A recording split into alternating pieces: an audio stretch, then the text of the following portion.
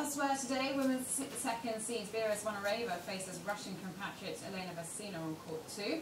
Britain's Heather Watson has her first round match against Matilda Johansson on court three, while Jamie Murray starts his men's doubles campaign alongside James Delgado against Carlos Berlocq and Ricardo Mello.